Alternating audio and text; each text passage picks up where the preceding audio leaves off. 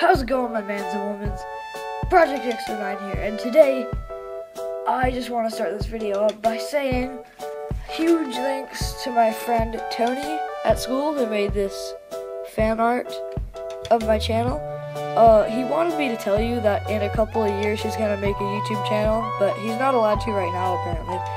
But uh, yeah, his his channel is gonna be called Tony12, and so yeah, me and him worked on that together. It was mainly him. And, uh, yeah, so huge thank to him. Check his channel out in, I guess, two years or something. I don't know. It's kind of weird. Okay, anyway, as you saw from the title, today I am going to be teaching you to hook a controller up to a PC. Okay, obviously this video is not going to be screen recorded. I'm sorry about that. I have a screen recorder. It just doesn't pick up my audio or, uh, yeah, it's really bad. Anyway, little disclaimer before we start the video. You will need an Xbox 360 controller, and it has to ha and it has to be wired. So if you don't have a wired Xbox 360 controller, then I don't know. Actually, I'm not sure if it's just for Xbox 360. You can probably do it with an. I don't know. Anyway, Okay, so uh, the second, th the first, second, sorry, the first thing that you want to do is take your controller, sorry, and uh, plug it into your USB port. And uh, after that, this little thing uh, down here on your whatever's, uh, it's something should pop up there, and it should have to like uh, start like syncing your device but anyway, okay, after uh after that's finished, you want to go to the internet and search something called XIN mapper and press enter. Uh, the first thing, you're gonna click the first thing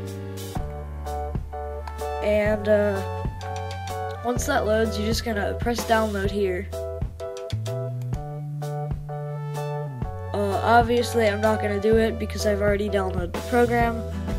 But um, if you're in Google, then that'll pop up, and then it's like weird in Internet Explorer, but no one really uses it because it's crap. So, okay. Anyway, after you have that downloaded, you're gonna go over to your uh, this thing and go to devices and printers. Now once you've clicked that, you will see your uh, controller icon up here. You want to right click it, press game controller settings, and click on properties. Once you're at this part, you're gonna take your controller and uh, start messing around with it. Like, see how when I move my thumbstick, it moves these? You just want to make sure everything on here does something. Except for, like, the what? Yeah, these uh, hit the numbers and everything. Alright, so once you have that, you're just going to press OK and X out all this stuff. And then you should be good to go. Start up XIN Mapper, press yes and then it should say Xbox uh, 360 or one controller, depending on which one you're using. I'm not. I'm still not sure again if this works with one controllers, but it should say connected and connected. And if that's all good, then you should be ready to go. Um, it is a little weird though, cause like you think click would be A, but click is actually a uh, right thumbstick. So here are all the mechanics. Um, so uh, left thumbs, not left, oh my gosh, right thumbstick is to move your mouse around. Uh, right thumbstick really does nothing.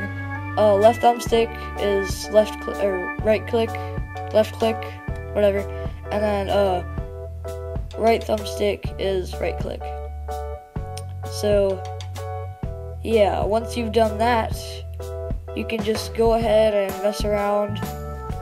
Here, I'll just like play a short bit of the game. A game, I don't know. Uh, sure, why not? Diep.io.